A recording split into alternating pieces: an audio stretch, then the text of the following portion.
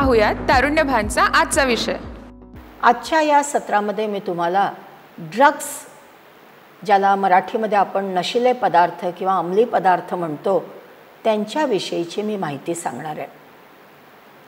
तुम्हा सर्वांना आठवत असेल आपल्या बॉलिवूडचे एक प्रसिद्ध कलाकार उत्कृष्ट अभिनय करणारे आणि एक चांगला माणूस म्हणून ज्याची ओळख होती असे श्री सुशांत सिंग राजपूत यांनी आत्महत्या केली दोन वर्षापूर्वी. आणि मग सुशांत सिंगच्या आत्महत्येनंतर एकदम खळबळ उडाली आणि त्याच्या खोलात जेव्हा तपास जाऊ लागला तेव्हा लक्षात आलं की बॉलिवूडमध्ये अनेक तरुण नट नट्यांना ड्रग्सच्या व्यसनाने ग्रासलेलं आहे.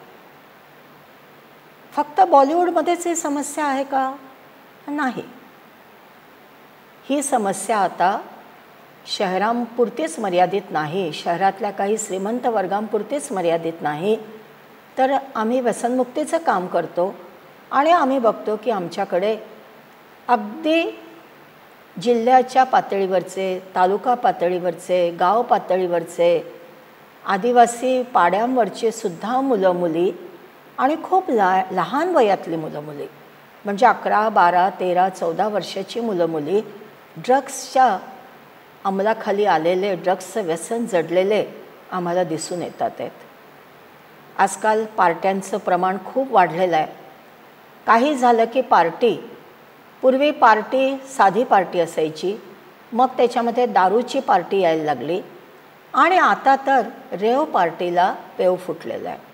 आत्ताच मध्ये तुम्ही पेपरमध्ये ऐकलं असेल वाचलं असेल की नाशिकमध्ये रेव पार्टी सुरू होती. आणि त्याच्यामध्ये अनेक श्रीमंत लोकांना आणि बॉलिवूडच्याही काही लोकांना रंगेहात पकडलं होतं. तर त्यामुळे ही समस्या फार मोठी आहे. जे याला बळी पडतात ती माणसं वाईट नाहीत. ती माणसं नॉर्मल आहेत. पण दुर्दैवाने ते ह्या व्यसनाचा शिकार बनलेले आहेत. ते रोगी आहेत. आणि मग हा रोग आपल्याला लागू नये हे व्यसन आपल्याला लागू नये म्हणून आपण सर्वांनी सावध असणं आवश्यक आहे. आणि त्यासाठी सर्वात पहिल्यांदा आपल्याला हे ड्रग्स म्हणजे काय? याचे काय दुष्परिणाम होतात? त्याची विस्तृत माहिती असणं आवश्यक आहे. आणि ती माहिती एकदा समजली की मग त्याच्यानंतर आपण त्याच्या नादी लागणार नाही. नाहीतर अनेकदा मित्रांच्या दबावामुळे मैत्रिणींच्या दबावामुळे किंवा मी कोणीतरी वेगळं आहे हे दाखवण्यासाठी गंमत म्हणून थ्रिल म्हणून सो कूल म्हणून पुष्कळदा ड्रग्स घेतलं जातं आणि मग त्याचा जो अंमल आपल्या शरीरावरती होतो त्याची सुटका करणं फार मह फार कठीण जातं. आणि मग त्या गर्तेमध्ये तो माणूस तो मुलगा ती मुलगी ते फसतच जातात. आणि म्हणून माझ्या युवा मित्रमैत्रिणींनो आपण ड्रग्सविषयी आता विस्तृत जाणून घेऊया. ड्रग्स म्हटलं की तुम्ही सर्वांनी बहुतेक ऐकलं असेल. कॉमनेस्ट ड्रग्स आहेत कोकेन हिरोईन अफू चरस गांजा आणि विविध प्रकारे हे ड्रग्स घेतल्या जातात. कधी सिगरेटच्या माध्यमातून ओढल्या जातात कधी खाल्ल्या जातात कधी त्याचा धूर पोटात घेतला जातो तर विविध प्रकारे नशिल्या पदार्थांचं सेवन होतं. आणि या चित्रात तुम्ही बघा की केवळ पुरुषच नाही तर मुलीसुद्धा आणि त्या कोपऱ्यात बघा तुम्ही अगदी लहान लहान मुलंसुद्धा आपल्या समाजामध्ये ड्रग्सचे शिकारी झालेले आपल्याला आढळून येतात. आता हे जे अंमली पदार्थ आहेत ह्या अंमली पदार्थांचे प्रकार काय काय आहेत? जसं मी आत्ता सांगितलं मुख्य प्रकार आहेत अफू गांजा कोकेन आणि हिरोईन. आणि अफू जी असते अफूपासनं बनतं गर्द हिरोईन आणि मॉर्फिन. अफू हा मूळ पदार्थ असतो आणि त्याच्यापासून मग हे बनतं. अफूची बोंडं असतात झाडं असतात त्याची आणि त्याच्या चिकापासून मग गर्द हिरोईन मॉर्फिन हे बनतं. आणि कोकेन जे म्हणतं ते कोको नावाचं झाड असतं. त्या कोकोच्या पानांपासून कोकेन बनतं. या इतर या अंमली पदार्थांशिवाय जी आपल्याला माहिती होती नावं आपण ऐकून होतो पण आजकाल इतरही अनेक अंमली पदार्थ निघालेले आहेत. कोणकोणती आहेत? ती आहेत थॅक्युलॉन ॲम्फिटामाइन मेथॅम्फिटामाइन टायनॉक्स त्याला बटन म्हणतात त्याच्या गोळ्या असतात आणि रेक्सकॉफ म्हणजे खोकल्याचं औषध. इतरही काही अंमली पदार्थ आहेत. L S D paper ketamine इंजेक्शनद्वारे घेतलं जातं. आम्ही सुंगडी देण्यासाठी किंवा खूप दुखत असेल तर दुखणं कमी होण्यासाठी मेडिकलमध्ये त्याचा वापर करतो. पण या केटामाइन इंजेक्शनचा सर्रास आता नशिले पदार्थ म्हणून त्याचा वापर होतो आहे नंतर मॅजिक मशरूम नावाचा एक दुसरा अंमली पदार्थ आहे. हुक्का पार्लर हुक्का पार्लरविषयी आपण पुढच्या सत्रामध्ये जास्त विस्तृत बघूया.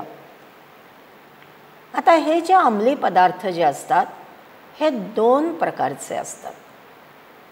एका प्रकारामध्ये ताबडतोब उत्तेजित करणारे असतात. आणि दुसरा पदार्थ जे असतो प्रकार ते म्हणजे त्याचा अंमल उतरेपर्यंत ते माणसाला पार निष्क्रिय करून टाकतात.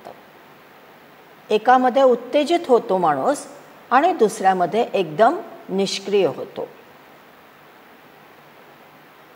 ज्या रेव पार्ट्या होतात त्या पार्ट्यामध्ये साधारणपणे माणसाला उत्तेजित करणारे ड्रग्स वापरले जातात. कोणकोणते ड्रग्स रेव पार्टीमध्ये चालतात? Cocaine L S D M D M A ice आणि मँड्रॅक्स ही विविध नावं आहेत. ह्या ड्रग्सशी. हे उत्तेजित करणारे ड्रग्स आहेत आणि याचा मुख्यतः वापर हा रेव पार्टीमध्ये झिंग येण्यासाठी उत्तेजना होण्यासाठी याचा वापर केला जातात. आता निष्क्रिय करणारे ड्रग्स कोणते आहेत? स्टिम्युलंट आपण बघितलेत उत्तेजित करणारे. डिप्रेसंट म्हणजे निष्क्रिय करणारे ड्रग्स मुख्यतः आहेत चरस गांजा आणि हिरोईन.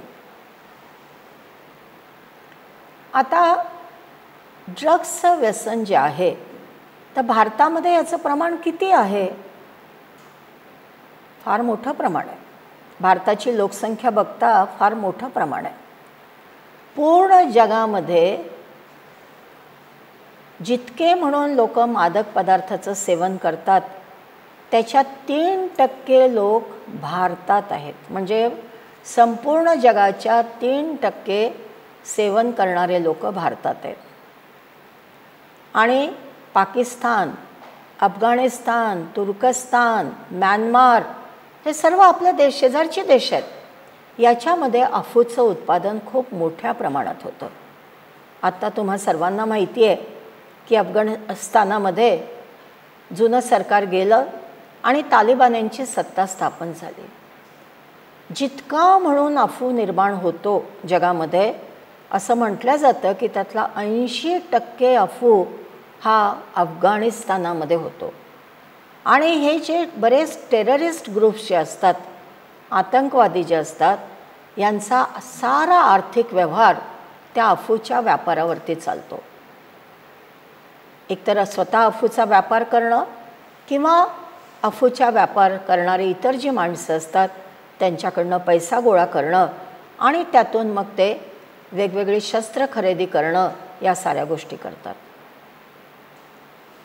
आणि हे सर्वत्र चालतं. जगभरामध्ये ड्रग्सच्या व्यापारामधून पुष्कळदा अशा पद्धतीने जे गुन्हेगारी प्रवृत्तीचे लोक असतात गँग्स असतात गुन्हेगारांचे किंवा अतिरेकी असतात त्यांना सत्ता काबीज करण्यासाठी म्हणून या ड्रग्सच्या व्यापारातून मिळणारा पैसा त्याचा वापर होतो. आता ड्रग्सचं व्यसन भारतामध्ये आपण बघितलं. मी आत्ताच तुम्हाला सांगितलं की अफगाणिस्तानामध्ये पंच पासष्ट टक्के अफू पिकवला जातो. ही खरं म्हणजे जुनी आकडेवारी आहे. आत्ता नवीन आकडेवारी अशी आहे की या लॉकडाऊनच्या काळामध्ये अफगाणिस्तानामध्ये खूप जास्त अफू पिकवला गेला होता. आणि जवळजवळ ऐंशी टक्के अफूचं उत्पादन हे अफगाणिस्तानात होत होतं. म्यानमार म्यानमारमध्ये तेवीस टक्के जगातला अफू हा पिकवला जातो. भारतामध्ये सर्वात जास्त उत्पादन नशिल्या पदार्थाचं कशाचं होतं? तर मँड्रॅक्स भारतामध्ये मँड्रॅक्स हा जो नशिला पदार्थ आहे त्याचं सेवन दोन ते पाच टक्के लोक करतात. आणि ह्या मँड्रॅक्सच्या उत्पादनामध्ये आपल्या देशातला गुजरात प्रांत जो आहे तो सर्वात आघाडीवर आहे. मँड्रॅक्स सेवरानंतर आपल्या शरीरामधली उष्णता झपाट्याने वाढते आणि अंमल उतरेपर्यंत ते कायम राहते. आणि त्यामुळे माणसाला खूप असं बरं वाटतं. काहीतरी शरीरामध्ये गरम गरम गरम असल्यासारखं वाटतं. एक प्रकारची ती उत्तेजित करणारी नशा असते. आणि मी जसं आत्ता सांगितलं काही वेळापूर्वी की रेव पार्ट्या ज्या होतात त्याच्यामध्ये मँड्रक्सचा वापर बराच होतो आणि अनेक रेव पार्टी ज्या असतात त्या कुठे आयोजित केल्या जातात कोणत्या हॉटेल्समध्ये की जिथे स्विमिंग पूलची व्यवस्था आहे. स्विमिंग पूल का का कारण इतकी उष्णता वाढते मँड्रॅक्स घेतल्यानंतर की पुष्कळ लोकांना ते असहनीय होतं आणि मग त्यांना पाण्यामध्ये डुबावसं वाटतं. आणि म्हणून मग त्या स्विमिंग पूल्स जर असेल सोबत हॉटेलच्या तर त्याच्यामध्ये त्यांना पोहता येतं डुबता येतं थंडावा त्याच्यामधनं मिळू शकतो. भारतामध्ये जे अंमली पदार्थ तयार होतात उत्पादन होतं तर कोणते स्रोत आहेत भारतातले आपण बघूया. सर्वात जास्त अफू गुजरातमध्ये निर्माण होतो. चरस जो प्रकार आहे ड्रग्सचा तो जम्मू काश्मीरमध्ये होतो. गांजा सोलापूर जिल्ह्यात सर्वात जास्त होतो. आमच्या शेजारी छत्तीसगड आणि मध्य प्रदेश आहे. तिथे पण गांजा मोठ्या प्रमाणामध्ये निर्माण होतो. कोकेन मात्र परदेशातून आयात करावा लागतो. कारण कोकेन हे कोकोच्या झाडांपासून त्याची जी पानं असतात त्यापासून तयार करतात आणि कोकोची झाडं आपल्या देशामध्ये सापडत नाहीत. आणि गंमत अशी की हे सारे ड्रग्स ऑनलाईन मिळतात. इतकं मोठं जाळं ह्या ड्रग पेडलरचं असतं. जागोजागी आपण कल्पनाही करू शकत नाही. आणि मग इतरांना कळू नये म्हणून ऑनलाईन त्याच्यासाठी काहीतरी वेगळे शब्द वापरले जातात.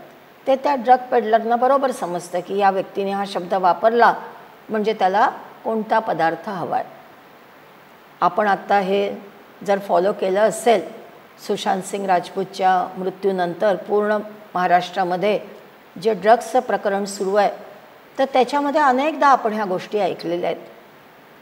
कोकेनला कोक म्हणतात. कोक म्हटलं तर आपल्याला काय वाटेल? साधा कोक. पण कोकेनसाठी तो ऑब्लिक वर्ड आहे सिम्बॉलिक वर्ड आहे शब्द आहे तो म्हणजे कोक. गांजाला वीड म्हणतात वीड. हशिशला हसत म्हणतात आणि एम डीला बुक म्हणतात. आता हे जे शब्द आहेत बघा कोक आहे वीड आहे हसत आहे बुक आहे हे आपल्यासारख्या लोकांना कळणारही नाही. कुणी आपल्यासमोर जरी ऑर्डर करत असेल तुमचा मित्र मैत्रीण जरी ऑर्डर करत असेल तरी तुम्हाला समजणार नाही की नेमकं ते काय मागवतात आहेत. घरच्या लोकांनाही कळणार नाही.